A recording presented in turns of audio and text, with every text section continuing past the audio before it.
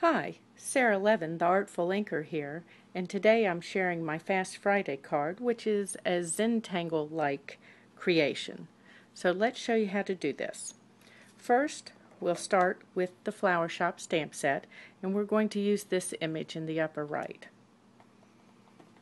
I have created uh, a mask already, and you do that by stamping on a scrap piece of paper, something like uh, copyweight paper is the best for that. I'm going to ink my stamp, and I'm using the Memento Black ink, and stamp, and then we're going to place our mask over. And this works best if you use line up the design of the mask with the image that you've just stamped.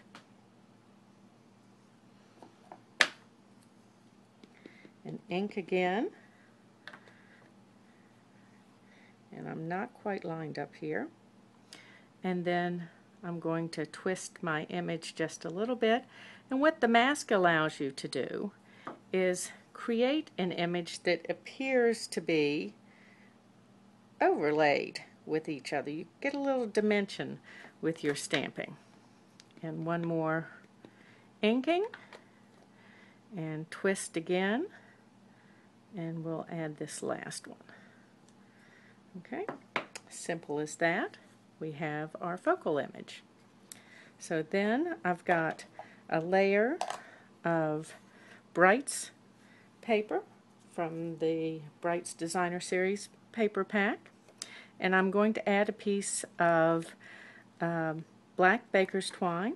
I've got some fast fuse that I've already added to the back here and I'm just going to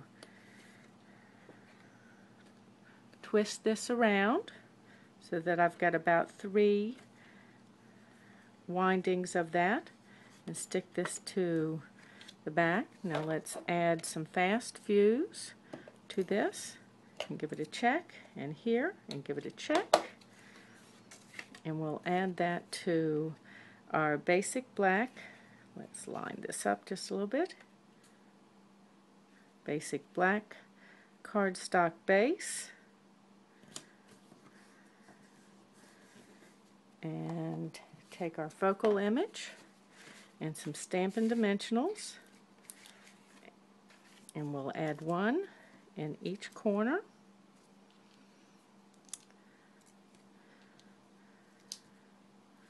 and pull the back off with these.